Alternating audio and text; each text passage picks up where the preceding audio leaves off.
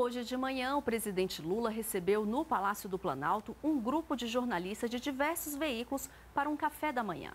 Isso mesmo, Carol. Eu estive presente representando o canal Gov, a IBC, e, junto com outros colegas, ouvi do presidente um balanço de ações já feitas pelo governo e os planos para o futuro do país. Veja aí como foi.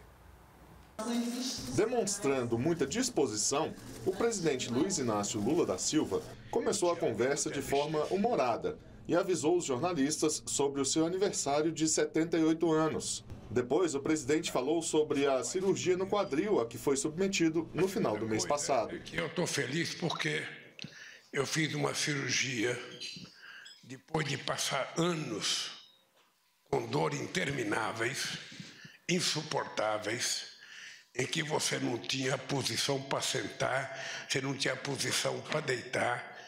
E eu, muitas vezes, receoso de me submeter a uma cirurgia, porque eu confesso a vocês, eu tinha medo de anestesia, eu sempre tive medo de apagar, sabe, dormir não volta mais. Como eu gosto muito da vida, eu tinha receio.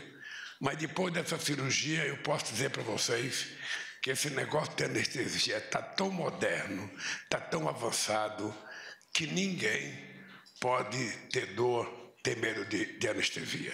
Sobre saúde pública, Lula lembrou a retomada do Mais Médicos e das mudanças feitas no programa para melhorar o atendimento à população e aumentar o número de profissionais de 21 mil para 28 mil médicos.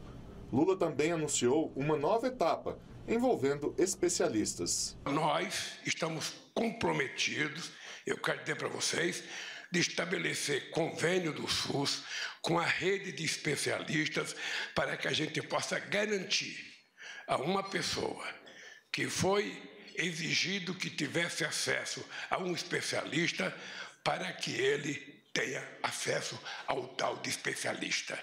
Não é só o presidente da República que tem especialista, o jornalista que pode ter acesso a especialista. O povo humilde tem que ter acesso a especialista. Sobre os eventos climáticos extremos que vêm atingindo várias regiões do país, o presidente disse que é preciso cuidar do meio ambiente para evitar novas calamidades. A natureza não está mais brincando. Ela está avisando, e cada vez avisando com mais força, com mais enchente do que o normal no Rio Grande do Sul, com mais furacão, com mais tufão, com maior ventania, com mais seca em alguns lugares, com menos chuva em outros lugares e com mais chuva em outros lugares, está avisando, ó, cuide de mim, porque eu estou ficando saturado desse bicho chamado ser humano. Vocês estão destruindo o mundo que vocês vivem. Então, cuide corretamente de mim, que eu vou cuidar de vocês. Ainda no tema meio ambiente, mas também sobre economia, Lula destacou o papel de liderança do Brasil na transição energética mundial. O Brasil já garantiu estabilidade social, o Brasil já garantiu estabilidade fiscal e o Brasil já garantiu estabilidade jurídica e previsibilidade nas coisas. Então, quem quiser fazer investimento, esse país se apresenta, sabe, como um novo berçário dos investimentos e queremos competir com quem quer que seja, porque nessa área eu acho que o Brasil é imbatível. Nós temos tecnologia de sobra, temos mão de obra de sobra, temos conhecimento para aplicar aqui e lá fora e construir parceria.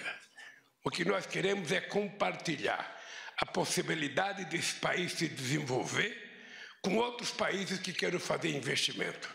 O presidente falou sobre os conflitos que acontecem no mundo e disse que o Brasil vai continuar o trabalho na promoção da paz. O poder do diálogo é capaz de vencer a bomba mais competente que o ser humano seja capaz de, de produzir. E é com o poder desse diálogo que eu acho, sabe, que a gente vai conseguir em algum momento sentar na mesa. Eu não, não, não posso, como um ser humano, como ser humano, a gente vê a quantidade de crianças mortas numa guerra, sabe? e ninguém assumia a responsabilidade por essas mortes. Cada um se acha o mais inocente e as crianças vão perecendo.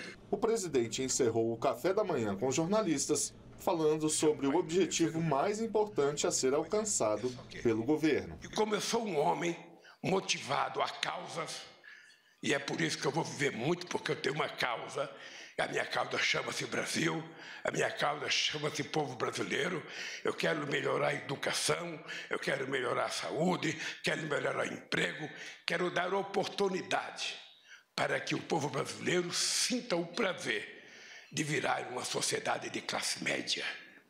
Uma sociedade de pessoas que podem comprar as coisas, que pode dar um presente para o filho, que pode dar um presente de Natal, que pode viajar de férias, Sabe, é essa sociedade que eu quero criar.